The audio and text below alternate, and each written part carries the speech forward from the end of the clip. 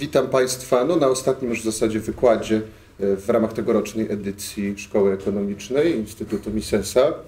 Więc mój wykład dotyczy ekonomicznej roli praw własności. I pewnie niektórym z Państwa znane są takie bardzo znamienne cytaty z Ludwiga von Misesa. Na przykład Mises mawia, e, że jeśli historia mogłaby nas czegokolwiek nauczyć, to tego, że nigdy nie powstała żadna autentyczna cywilizacja nieufundowana na bezwarunkowym szacunku dla własności prywatnej, a czasem nawet w bardziej dramatyczny ton Mises popada i mówi albo prywatna własność środków produkcji, albo głód i nędza dla wszystkich. Więc ja bym, się, ja bym w tym swoim wystąpieniu chciał y, podbudować czy uzasadnić tą tezę i y, no, przychylić się ku temu, że Mises ma tutaj absolutną rację.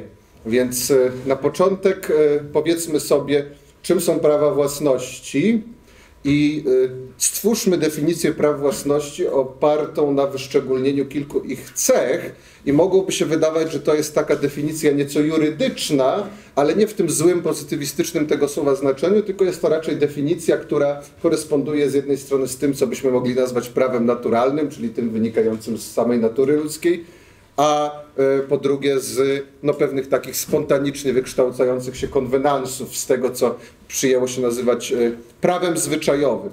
Czyli własność moglibyśmy zdefiniować jako wiązkę praw. I jakie to są prawa?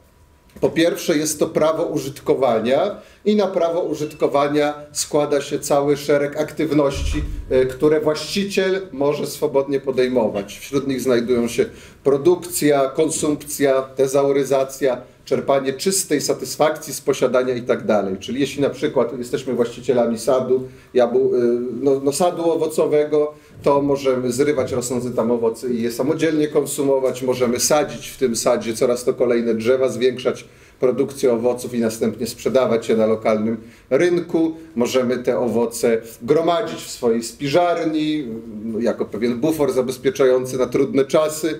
Możemy y, no, wyłożyć się na hamaku czy na leżaku i po prostu czerpać satysfakcję z przebywania w sprzyjających, e, pozytywnie nastrajających okoliczności przyrody i tak dalej. Czyli e, tutaj cały szereg aktywności się zawiera w tym prawie do użytkowania. Druga kategoria praw składających się na tą wiązkę praw definiujących prawa własności to jest prawo zbycia czy pozbycia się. I tutaj też e, najrozmaitsze formy e, możemy wyszczególnić. Możemy zbyć to, co posiadamy poprzez sprzedaż tego czegoś, możemy przekazać komuś darowiznę, możemy coś po prostu porzucić, tak, ilekroć coś posiadamy, to możemy się też tego e, pozbyć, posiadanie i pozbycie, tutaj nawet pewna, pewna terminologiczna czy taka semantyczna zbieżność się pojawia. No i wreszcie prawo wykluczania. Trzeba y, pamiętać o tym, że własność prywatna jest z definicji kategorią wykluczającą, czyli w momencie, gdy jesteśmy prywatnymi właścicielami danego zasobu czy danej przestrzeni, to możemy pozbyć się wszelkich nieproszonych gości z tej przestrzeni bez podawania jakiegokolwiek powodu. Czyli powiedzmy, że uchodźca z kraju, wymizerowany uchodźca z kraju rozdartego konfliktem wojennym się pojawia pod moimi drzwiami i ja jako właściciel y, nie mam obowiązku go wpuszczać. Albo ktoś puka do drzwi, ja nawet nie wiem kto to jest i z dowolnego powodu mogę go zignorować. Tak? Jestem zbyt leniwy, nie chce mi się zejść. Albo patrzę przez Judasza i wydaje mi się, że ta postać się przedstawia w sposób y, no, y, taki groźny, niepokojący. Nie podoba mi się jego facjata, e, kolokwialnie rzecz ujmując, i dlatego go nie wpuszczam. Więc ja nie muszę się tłumaczyć nikomu z tego, że nikogo nie przyjmuję na swoją przestrzeń prywatną. To jest moja przestrzeń ekskluzywna. To ma też oczywiście implikacje e, gospodarcze, bo to znaczy, że ja tą przestrzeń mogę dowolnie zagospodarować, mogę tam stworzyć swoją własną kapitałową strukturę produkcji i swobodnie e, konkurować o klientów z innymi takimi prywatnymi przestrzeniami zagospodarowywanymi w inny sposób przez innych. To też jest no, ta, ta mm, mozaika struktur własnościowych, to też jest no, istotny fundament y, mm, kształtowania się systemu cenowego i dokonywania się rachunku ekonomicznego. Więc oczywiście z tego nie wynika, że jeszcze wracając do tej e, kwestii z uchodźcą, no, z tego nie wynika, że ja nie mam jakiegoś moralnego, wewnętrznego obowiązku, żeby go przyjąć, jeśli uważam, że to jest rzeczywiście ten, za kogo się poda- ta, ta osoba rzeczywiście jest tym, za kogo się podaje. Natomiast czym innym są, tak po kantowsku mówiąc, te tak zwane obowiązki niedoskonałe, które jeśli ich nie spełnię, to mnie będzie sumienie gryzło, a czym innym są te obowiązki tak zwane doskonałe, które można prawnie wymusić. No to trzymając się tych e, kategorii prawa naturalnego i prawa zwyczajowego, to nie mam obowiązku kogokolwiek wpuszczać na swoją przestrzeń prywatną, zawsze mogę wszystkich z niej wykluczyć. Teraz e, powiedzmy coś na temat społecznych funkcji praw własności. E, I tutaj myślę, że trzy takie główne funkcje należałoby wyszczególnić. Po pierwsze, własność prywatna po, y, umożliwia pokojowe rozstrzyganie konfliktów o rzadkie zasoby. Mówiliśmy sobie, co to znaczy, że zasoby są rzadkie, co to znaczy, że są rywalizacyjne. E, więc e, tutaj kolejnym tematem, który warto by podjąć, są różne kryteria tak zwanego pierwotnego zawłaszczenia oraz ich silne i słabe strony. Tak, możemy wymienić kilka niesatysfakcjonujących kryteriów pierwotnego zawłaszczenia. Na przykład werbalna deklaracja jest zupełnie niesatysfakcjonująca. Powiedzmy, że mamy do czynienia z bezludną wyspą, dosyć sporą. Ja ląduję na jednym brzegu tej bezludnej wyspy i jak okiem sięgnął, obejmuje na bazie werbalnej deklaracji całą tą wyspę w posiadanie. Ja, Krzysztof Kolumb, całą Amerykę biorę w posiadanie. No powiedzmy, że od drugiej strony napływa jakiś inny Krzysztof Kolumb i też mówi, ja całą Amerykę obejmuję w swoje posiadanie. Czyli te dwie werbalne deklaracje się nawzajem znoszą, unieważniają i, i, i absolutnie jesteśmy w punkcie wyjścia, absolutnie nie wiemy, e, kto tak naprawdę e, może być uznany za właściciela jakiegokolwiek nawet skrawka tej Ameryki, prawda? Więc to jest zupełnie słabe kryterium. Mm, podbój też w zasadzie mało satysfakcjonujące kryterium. Możemy uznać, że ci dwaj e, werbalni zawłaszczyciele się na środku tej wyspy spotykają, no i dochodzi do rękoczynów. I jeden jest zabity czy przepędzony. I co to znaczy? Czy to znaczy, że ten, który zwyciężył, jest właścicielem? Niekoniecznie. On jest kontrolerem, ale on jest znowu tymczasowym kontrolerem. On kontroluje wyspę tylko do momentu, aż się na tej wyspie nie pojawi jeszcze e, ktoś jeszcze bardziej wprawny, jeśli chodzi o stosowanie środków e, represji bezpośredniej i nie wygoni czy nie zabije tego dotychczasowego kontrolera. Więc tutaj nie mamy do czynienia z żadną stabilnością tych praw własności e, w gruncie rzeczy. Więc to też jest kryterium nieadekwatne. No i wreszcie mamy kryterium chyba najbardziej adekwatne, to które no, poprzedza chronologicznie pojawienie się tradycji austriackiej i generalnie to jest kryterium bardziej etyczne czy etyczno-jurydyczne niż ekonomiczne. Niemniej y, Y, no, y, ono y, pozwala na uprawianie rzetelnej ekonomii własności, czy uprawianie rzetelnej, rzetelnie tej dyscypliny zwanej ekonomiczną analizą prawa, no bo to jest kryterium dosyć satysfakcjonujące, dosyć adekwatne. No i mam tutaj na myśli lokowską, laborystyczną teorię własności, absolutnie nie mylić z marksistowską, czy nawet klasyczną po prostu laborystyczną teorią wartości, bo to są dwie zupełnie inne rzeczy. Więc według Loka zawłaszczenie, pierwotne zawłaszczenie zasobów naturalnych wymaga zmieszania z nim swojej pracy, czyli de facto stajemy się właścicielami jakichś zasobów naturalnych w takim stopniu, w jakim no jednak w jakimś choćby minimalnym stopniu czynimy je dobrami kapitałowymi. Tak? To, to jest ciekawa taka zagwozdka na pograniczu filozofii i ekonomii, do jakiego stopnia możemy mówić o posiadaniu dóbr naturalnych, jeśli dobra naturalne definiujemy jako te, które z definicji pozostają w stanie dziewiczym, w żaden sposób niezmodyfikowanym przez ludzką pracę. Więc tutaj by zawierała się w tym pewna sugestia, że te dobra, które posiadamy, choćby nawet one w większości zachowywały swój status dziewiczy, to w jakimś tam stopniu muszą być przekształcone, czyli skapitalizowane. Tak? Czyli na przykład natykam się na dziewiczy las, ścinam ten las i na jego miejsce y, no, y, tworzę sad owocowy albo pole uprawne, no to wtedy wiadomo, że ta, to terytorium należy do mnie albo y, y, natknąłem się na stado dzikich koni, ujeździłem je, udomowiłem je, no to wtedy to są moje konie i, i niejako no, taką pieczęć swojego indywidualnego wysiłku, pieczęć swojej e, pracy odciskam na tych dobrach, modyfikując jakoś ich naturę i wtedy nie możemy mieć wątpliwości, że to ja jestem ich e, właścicielem. Więc to jest to lokowskie kryterium pierwotnego zawłaszczenia, no a potem wtórnie już e, no, tak, te pierwotnie zawłaszczone dobra możemy kontraktowo wymieniać. E, tutaj wystarczy, że jest dobrowolność z obu stron i wtedy te tytuły własności mogą być swobodnie transferowane. Tutaj już wielkich kontrowersji nie ma. I teraz jeszcze można dodać, że, ta, mm, że to lokowskie kryterium E, pierwotnego zawłaszczenia jest oparte na tak zwanej zasadzie samoposiadania.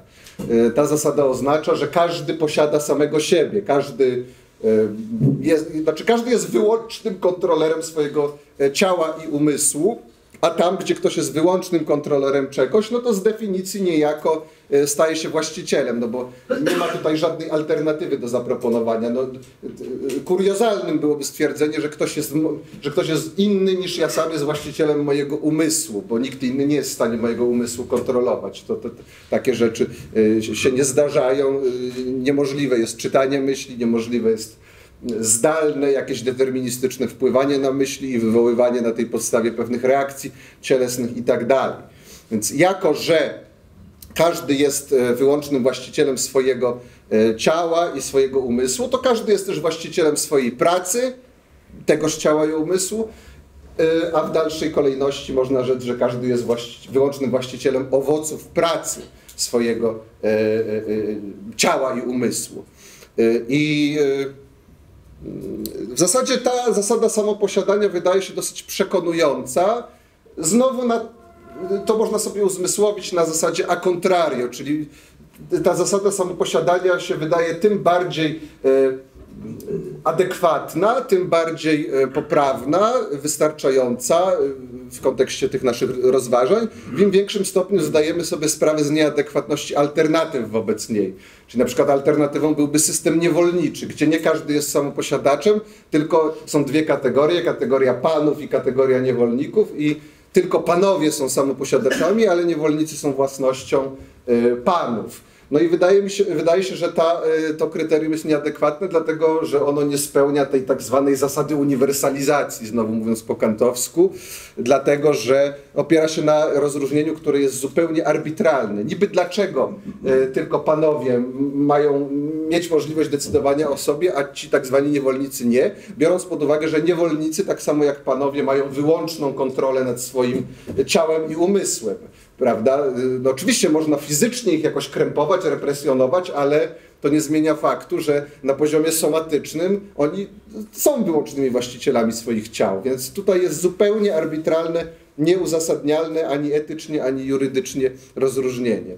Też Rothbard w Etyce Wolności pisze o tak zwanym uniwersalnym komunizmie, tak? Czy uniwersalny komunizm nie byłby alternatywą wobec lokowskiej zasady samoposiadania? Co to znaczy?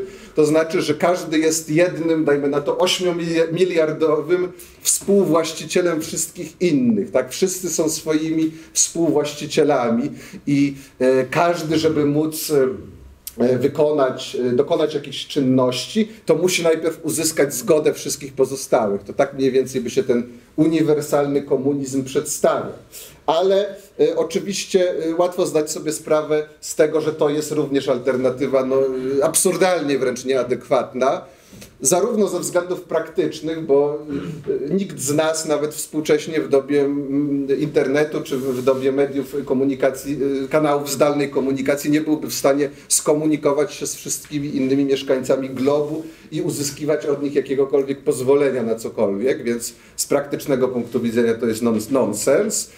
Ale nawet z czysto logicznego punktu widzenia to też jest nonsens, bo gdybym nawet podjął próbę komunikowania się z innymi, no to już bym musiał założyć, że jestem samoposiadaczem, bo e, no nie, nie mógłbym z definicji uzyskać czyjejkolwiek zgody na ten sam akt komunikowania się, prawda? Bo gdyby, gdyby chcieć pociągnąć ten uniwersalny komunizm do jego logicznej, mm, e, do, do jego logicznego zwieńczenia, do jego logicznej konsekwencji, no to tą konsekwencją byłaby natychmiastowa śmierć całej ludzkości z głodu, wynikająca z konieczności bycia doskonale pasywnym. Tak? Nie mogę uczynić kroku w żadną stronę, nie mogę nawet włączyć tego komputera, bo na to też już powinienem mieć uniwersalną zgodę całej ludzkości. Więc widzimy, jak absurdalna jest to alternatywa.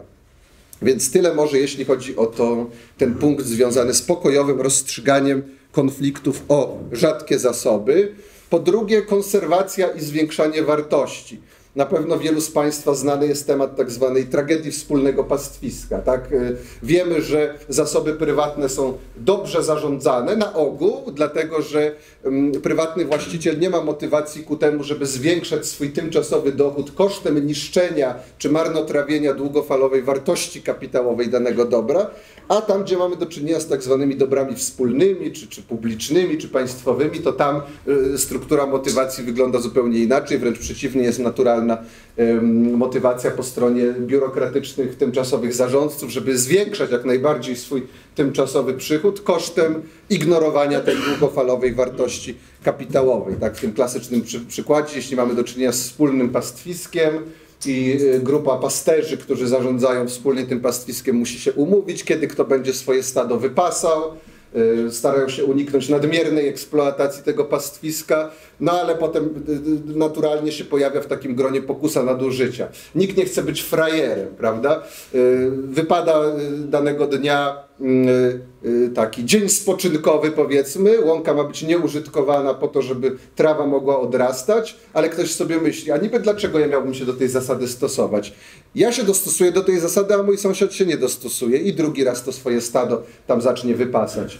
Y, I mm, pal 6, jeśli pojedyncza osoba tak myśli, ale jeśli wszystkie osoby zaczną tak myśleć, no to wszystkie będą y, ignorowały wtedy te mniej lub bardziej niepisane zasady i będą Nikt nie będzie chciał być frajerem, w związku z czym w ostatecznym rachunku wszyscy się okażą frajerami, bo sobie tą łąkę zniszczą wskutek nadmiernej eksploatacji, więc Natomiast jeśli by się taką wspólną łąkę rozparcelowało y, na indywidualne, prywatne działki, no to tej y, instytucjonalizacji pokusy nadużycia udałoby się uniknąć i e, w konsekwencji udałoby się też tej ta, tak zwanej tragedii wspólnego pastwiska, czyli e, nadmiernej eksploatacji i niszczenia e, wspólnie użytkowanych dóbr kapitałowych. Można by tego uniknąć.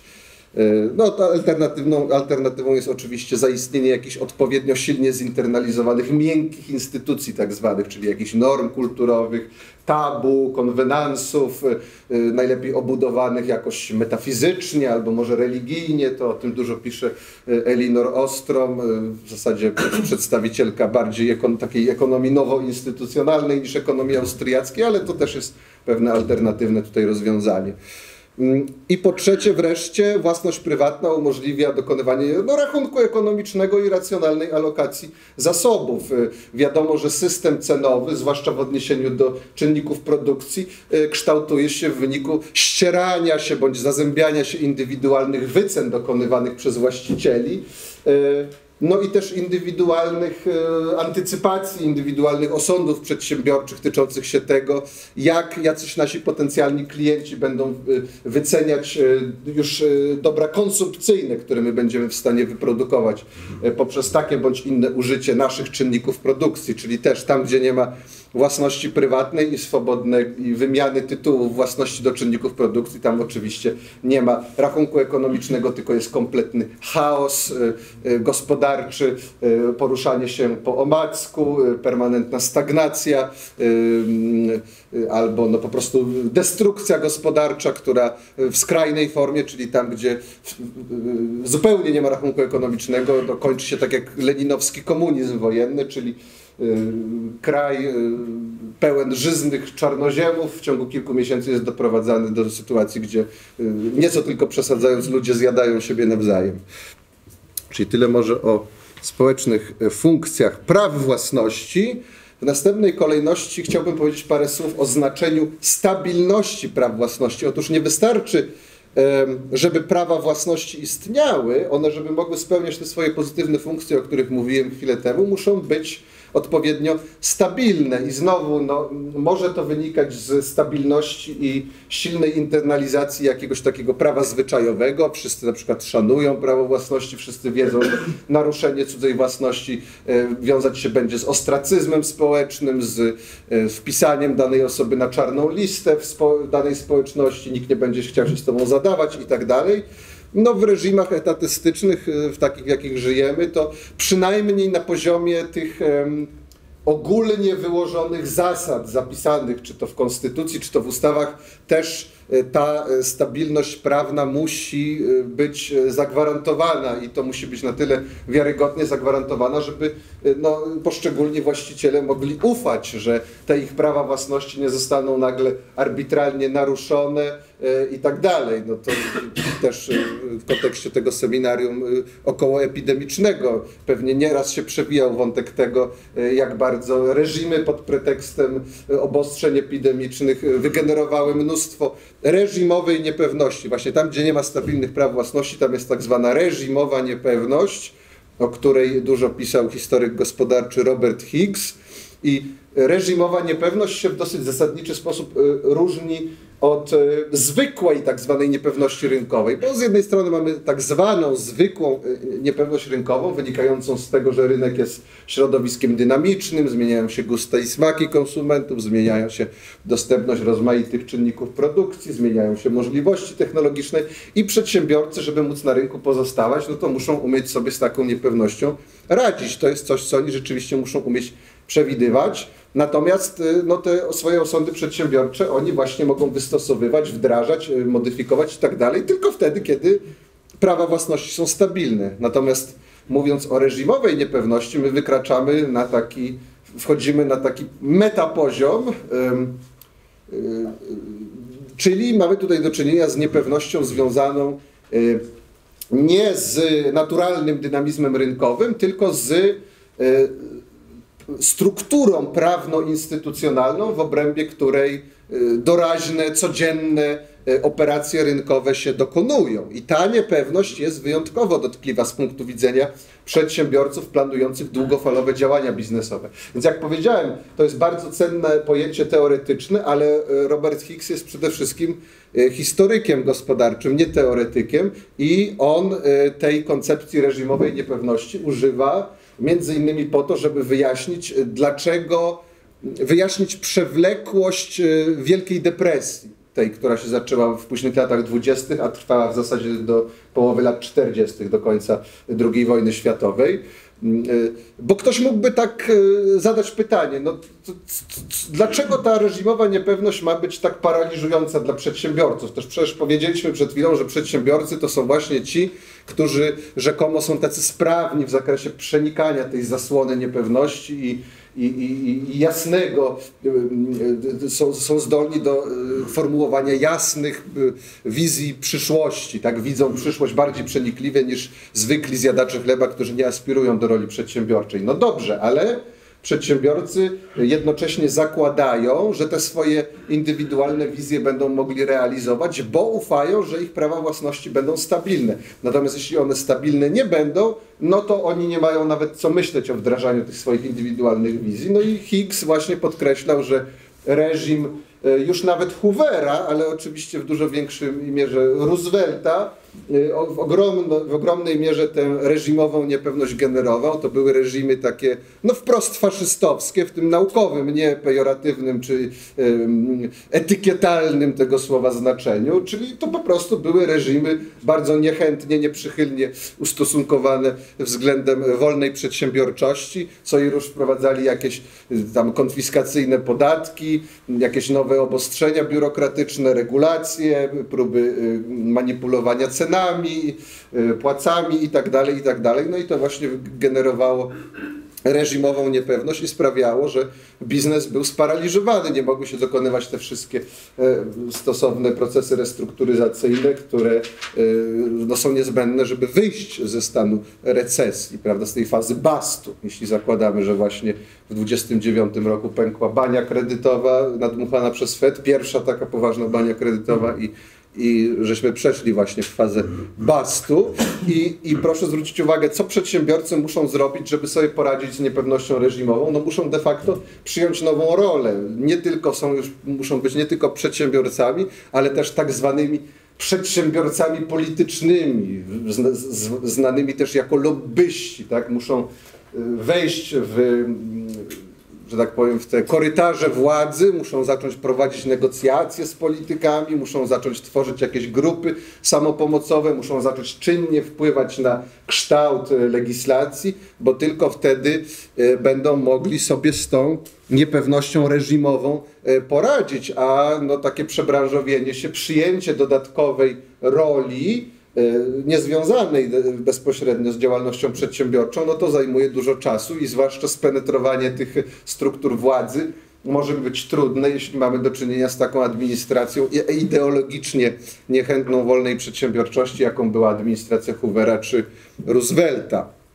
E, czyli e, normalnie przedsiębiorcy umieją w cudzysłowie grać w grę rynkową. Ja nie znoszę tego określenia szczerze mówiąc, bo rynek to nie jest żadna gra, nie ma żadnej gry podaży i popytu. To jest rynek, to jest rzecz poważna, przedsiębiorczość to jest rzecz poważna, przedsiębiorcy ryzykują e, swoje własną, swoją własną reputację, ryzykują swoje, e, stawiają na szali swoje własne bogactwo. Jedna błędna decyzja i mogą stracić majątek życia i tak dalej, i tak dalej. Więc przedsiębiorcy są tymi, którzy bezpośrednio konfrontują się z niepewnością, więc e, no, ich sytuacja jest pod tym względem dużo bardziej niepewna niż sytuacja e, szeregowych pracowników, więc to nie jest żadna gra. Tak? To, to, e, tak była mowa o tym, że giełda to nie jest żadne kasyno, prawda? To są zupełnie różne zjawiska.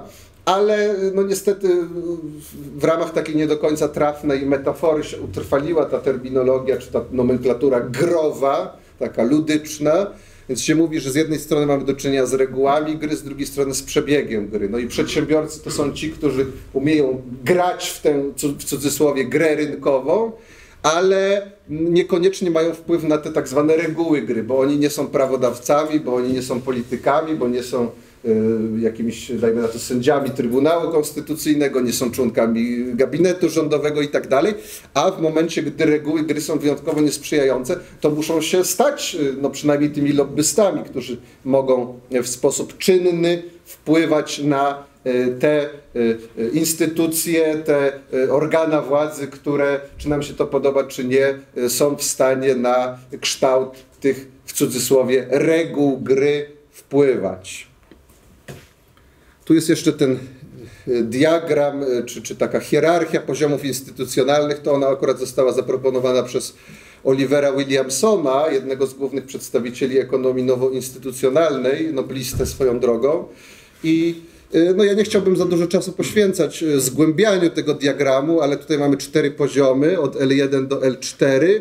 I y, poziomy L1 i L2 to są właśnie poziomy związane z regułami gry. L1 to jest ten poziom tak zwanych miękkich instytucji, czyli tych kulturowych uwarunkowań, norm, konwenansów, wierzeń i tak dalej. L2 to są tak zwane twarde instytucje, czyli właśnie prawo stanowione, y, y, formalne zabezpieczenie praw własności i tak. I te poziomy L1 i L2 są zwyczajowo poza zakresem, no, kształtowanie ich leży poza zakresem kompetencji przedsiębiorców, prawda? A potem mamy L3 i L4. L3 to jest poziom związany z, właśnie z tym tak zwanym ładem korporacyjnym, czy kontrolą korporacyjną, czy rządnością korporacyjną. To i to już jak najbardziej e, leży w zakresie obowiązku przedsiębiorców. Oni muszą właśnie stworzyć jakieś wewnętrzne systemy kontroli korporacyjnej, odpowiednio stworzyć struktury motywacji, udrożnić kanały e, rozdysponować różne cząstkowe prawa własności pomiędzy menedżerów różnych szczebli i tak dalej.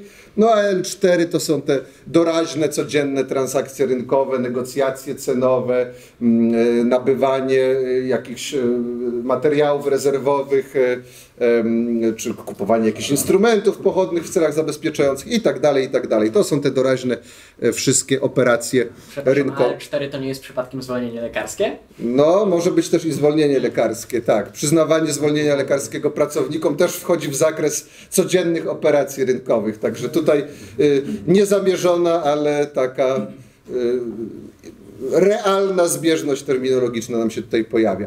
Czyli normalnie mm, ten tak zwany przebieg gry to są poziomy L3 i L4 i, i, i ta, ta, ta normalna niepewność rynkowa też się przejawia na poziomach L3 i L4, natomiast poziomy L1 i L2 to e, są poziomy związane z tak zwanymi regułami gry, i właśnie na tych poziomach też się może pojawić reżimowa niepewność, czyli przedsiębiorcy muszą wyjść ze swojej zwyczajowej roli, wspiąć się na te poziomy L1 i L2. L1 to w zasadzie się nie da, bo, bo nad e, kształtem kultury czy y, takich tradycji, konwenansów, y, wierzeń, tabu, to nikt nie ma nad tym kontroli. To, to, to, to, te zjawiska się kształtują w sposób spontaniczny na przestrzeni setek czy nawet tysięcy lat, ale ten poziom L2 czyli tak zwanych twardych instytucji, to tutaj przedsiębiorcy muszą zacząć działać, ilekroć mają do czynienia z reżimową niepewnością.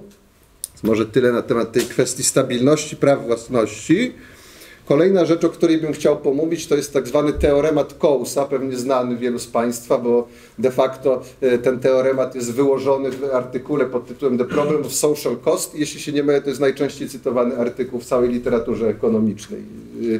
E, no, oczywiście autorem jest Ronald Coase, też noblista, nie Austriak, tylko też właśnie tak zwany nowy instytucjonalista, ale w gruncie rzeczy w dużej mierze ten teoremat da się y, uzgodnić z teorią austriacką, choć są też pewne y, punkty rozbieżne. Na przykład Walter Block wdał się w dosyć długą polemikę, nie z samym Coasem, ale z kołsistami. To Walter Block się wdał w setki różnych polemik. To jest jego przewaga konkurencyjna z Demsecem, czyli jednym z głównych uczniów Coasa. Block długo dyskutował właśnie mm, a propos teorematu Coasa, więc to tak na marginesie, jeśli ktoś chce zgłębić temat i wejść na poziom niuansów, to, to się polecam zapoznać z tą polemiką.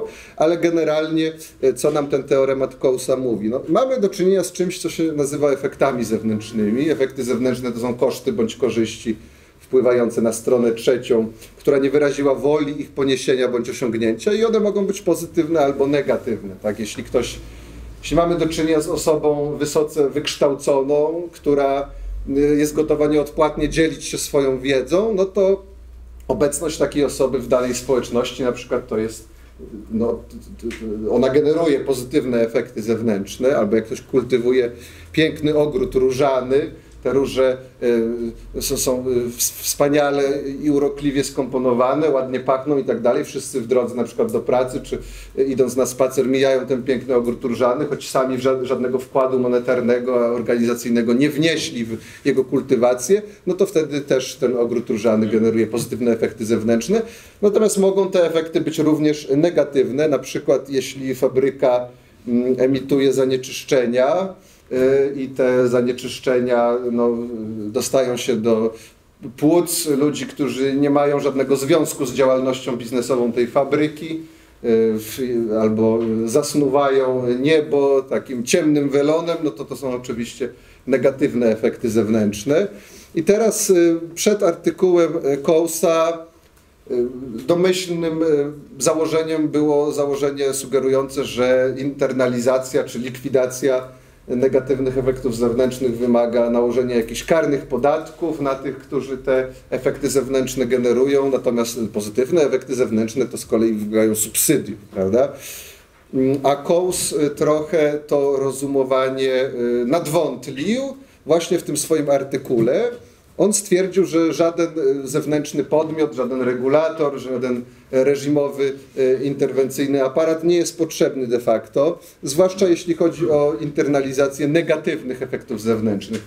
E, Coase zakłada, że negatywne efekty zewnętrzne mogą być uwewnętrznione, zinternalizowane E, na drodze negocjacji po prostu pomiędzy tymi, którzy generują te efekty i tymi, którym one przeszkadzają, tylko żeby do tych negocjacji mogło dojść, to um, muszą być spełnione dwa warunki, to znaczy prawa własności muszą być jasno zdefiniowane i y, tak zwane koszty transakcyjne muszą być odpowiednio niskie, gdzie przez koszty transakcyjne rozumiemy y, koszty wyszukiwawcze, koszty negocjacyjne i koszty egzekucyjne, czyli koszty znalezienia tego, z kim muszę ponegocjować, koszty przeprowadzania samej negocjacji, spisania umowy i tak dalej i wreszcie koszty wymuszania tej umowy w razie niesubordynacji którejś ze stron.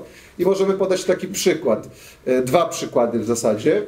E, czy dwie wersje tego samego przykładu. E, czyli z jednej strony mamy sytuację, gdzie e, mamy do czynienia z rolnikiem, który uprawia swoje pole, a potem gdzieś nieopodal pojawia się przemysłowiec, który stawia swoją fabrykę, z komina fabrycznego się wydobywają zanieczyszczenia, trujący dym, który osiada na polu rolnika i niszczy mu plony. I teraz w tej pierwszej sytuacji, właśnie zgodnie z taką zasadą e, lokowską, możemy uznać, że e, ten rolnik ma prawo zmusić, e, zmusić przemysłowca, żeby on zainstalował filtr na kominie fabrycznym, dlatego że rolnik był tam wcześniej, czyli on nie ty, no, no, no, jego prawa własności są naruszane w momencie, gdy przemysłowiec te zanieczyszczenia emituje. Więc jeśli prawa własności są jasno zdefiniowane i koszty transakcyjne są wystarczająco niskie, to rolnik może wymusić instalację filtra i wtedy koszty transakcyjne są zlikwidowane. Ale teraz sobie wyobraźmy drugi scenariusz odwrotny. Fabrykant był tam jako pierwszy, a potem rolnik tam postanowił swoje pole obok założyć, więc teraz rolnik nie może wymusić na fabrykancie, żeby on zainstalował ten filtr, ale jeśli koszty zainstalowania tego filtra są mniejsze niż koszty związane ze zniszczeniem jego plonów, no to on może zrobić coś innego. On się po prostu może udać do tego fabrykanta i wynegocjować z nim instalację tego filtra, powiedzieć na przykład, ja ci to opłacę, y, więc ty nie ponosisz żadnych kosztów, ale ja na tym zyskam, no bo y, no, będę minimalizował w tym momencie swoje straty, tak? Przepraszam, a co w sytuacji, w której nie da się ustalić konkretnej osoby? Bo na przykład jeśli chodzi właśnie o powietrze, to przecież masy powietrza krążą tak, tak w makroskali pomiędzy państwami, czy też tak. No to są właśnie te koszty transakcyjne, prawda? I, ale w związku z tym nie będzie się w stanie ustalić, do którego właśnie z konkretnego właściciela fabryki należałoby się udać, ponieważ nie będzie wiadomo, który konkretny zanieczyszcza nam, ponieważ może być on równie dobrze usytuowany kilkaset kilometrów dalej. Znaczy myślę, że to jest po pierwsze kwestia techniczna, czyli kwestie no, detekcyjne jakieś. Musimy mieć czulszą aparaturę, żeby móc te rozróżnienia poczynić. Z drugiej strony to jest też kwestia jurydyczna. No, są też takie instytucje jak pozwy zbiorowe i powiedzmy można, jakaś tam społeczność może pozew zbiorowy y, przeciwko jakiejś grupie fabrykantów wystosować i to w gruncie rzeczy też jest normalne takie negocjacyjne, rynkowe rozwiązanie, prawda? E, więc to się zawiera w tym w gruncie rzeczy teoremacie Cołsa, bo to się zawiera w tych dwóch kategoriach konieczności jak najbardziej jasnego zdefiniowania praw własności i w minimalizacji kosztów transakcyjnych. Zresztą Coles jest też znany z innego no, sławnego bardzo artykułu. Gruncie jeszcze niewiele opublikował, ale jak coś opublikował, to już była to rzecz e, automatycznie niemalże wędrująca do kategorii artykułów najczęściej cytowanych, najbardziej rozpoznawalnych. No, wiadomo też, że Coles napisał znany artykuł o naturze firmy, gdzie on właśnie firmę też postrzega jako jedną z instytucji służącej minimalizacji kosztów transakcyjnych. Prawo zwyczajowe byłoby na przykład inną taką e, miękką instytucją minimalizującą koszty transakcyjne, e, uściślającą prawa własności i tak dalej, czyli widzimy, że niezależnie od tego, jaki będzie ten pierwotny rozkład praw własności, czy pierwszy był rolnik na danym terenie, czy przemysłowiec, to rezultaty i w jednym, i w drugim scenariuszu mogą być, jak to się mówi w żargonie, pareto korzystne, czyli na drodze negocjacji no, mogą te dwie strony y, zlikwidować te efekt, negatywne efekty zewnętrzne, niezależnie od tego, mm, kto ma prawo co na kim wymusić, prawda? Więc to te, i, i, I nie potrzebują żadnego zewnętrznego regulatora czy żadnego zewnętrznego sędziego, żeby móc te negocjacyjne ustalenia poczynić. Więc to jest dosyć istotny wkład Kołsa w no, teorię porządku spontanicznego, w właśnie teorię takich e, swobodnych negocjacji e, przedsiębiorczych e, i tak dalej. Więc to jest jak najbardziej do pogodzenia do, do, do, z tradycją austriacką. I wreszcie już ostatnia rzecz, o której bym chciał wspomnieć, to jest kwestia praw własno- związków praw własności i rozwoju gospodarczego. E, ekonomista Hernando de Soto, nie mylić z Jesusem Huerta de Soto, e, to jest autor koncepcji tak zwanego martwego kapitału i ten tak zwany martwy kapitał to jest termin oznaczający nieformalnie posiadaną własność, która nie jest prawnie uznawana. Czyli na przykład możemy zadać sobie pytanie, dlaczego kraje trzeciego świata są krajami trzeciego świata? Dlaczego są takie niedorozwinięte gospodarczo?